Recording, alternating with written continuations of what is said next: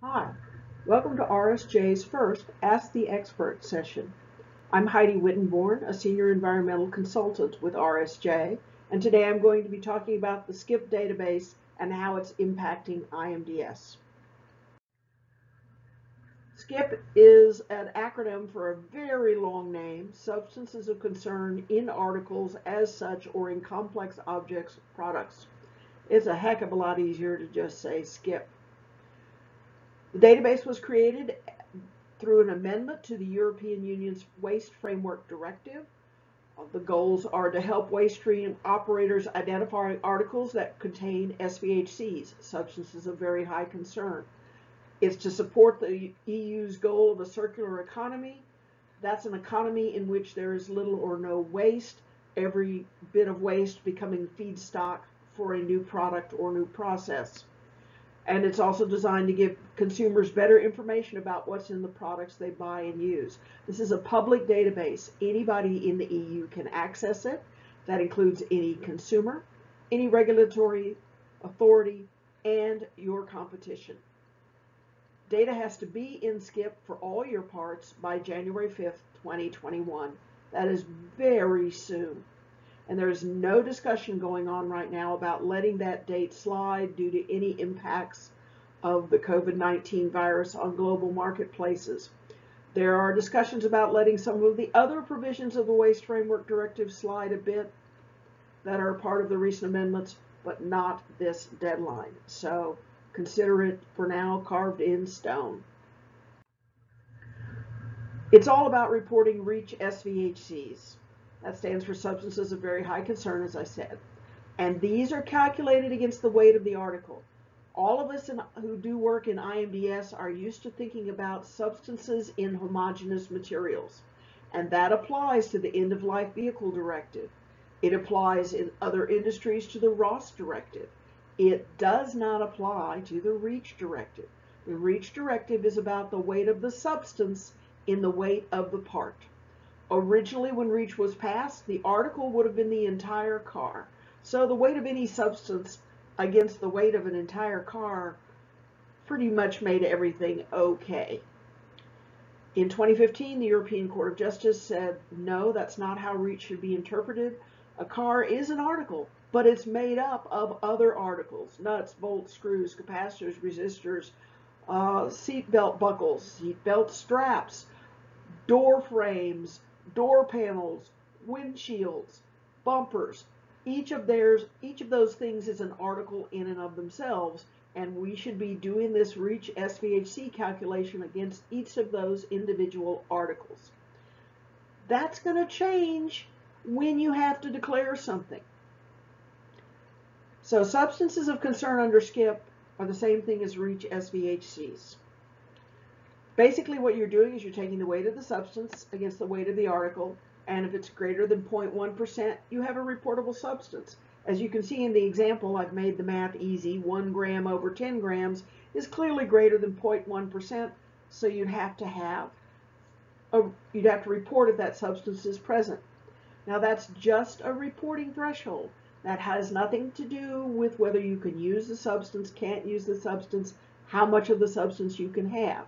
You've just reached the threshold that is the I've got to tell this substance is present. That's all it's about. Now in IMDS, for electronic components, we have the 019 semi-components. People call them 019s for short, and that's what I'm going to call them in this discussion. So these are shortcuts for entering data about electronic components so that you don't have to go line by line, substance by substance, for lots of little tiny parts, of which there could be hundreds in a car.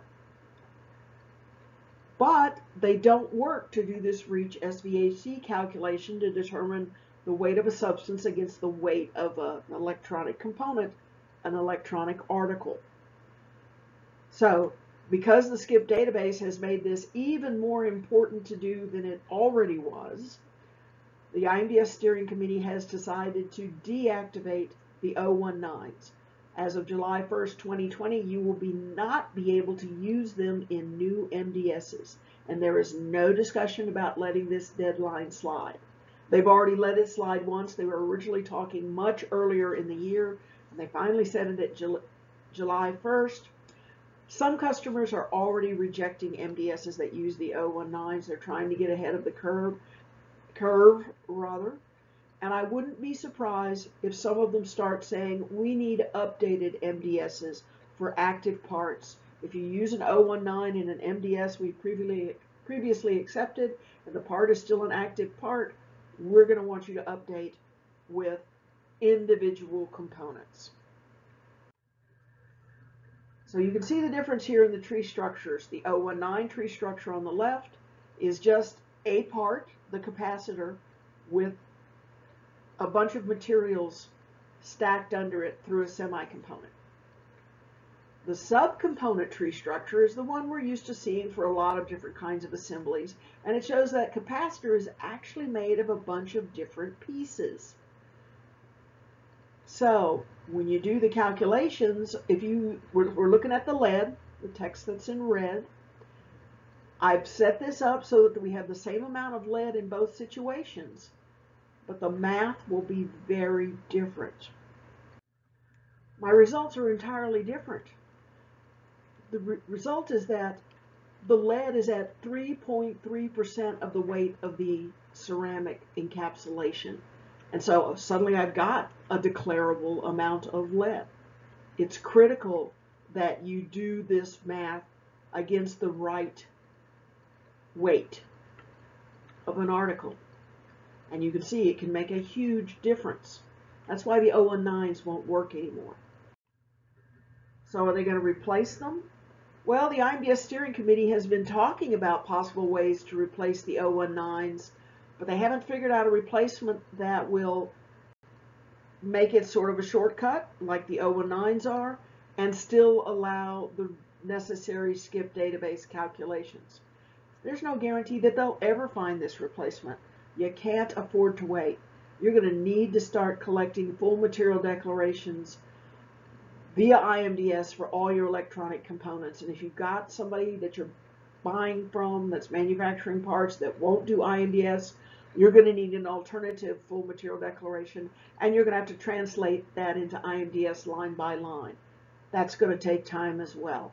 So there's no time to sit and wait. We've got short deadlines, no guarantee that something will pop up to replace the 019s, and you may have a lot of time on your hands to, needed to convert those alternate formats if that's what you end up getting.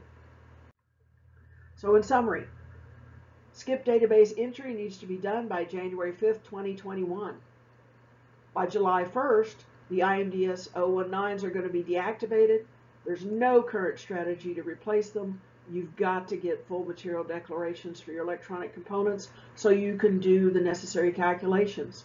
And the other problem we've got is that the electronics industry isn't used to reporting that way. They tend to report what are called flat BOMs. They just say, I've got a capacitor and here are all the materials it's made from.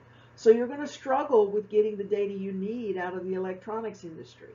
Again, no clear strategy coming from them yet on how they're going to respond to the SCIP database. But you can't afford to wait. You're going to have to do the best you can now. If you have any questions or you need help, please contact me at my email, hwittenborn at rsjtechnical.com.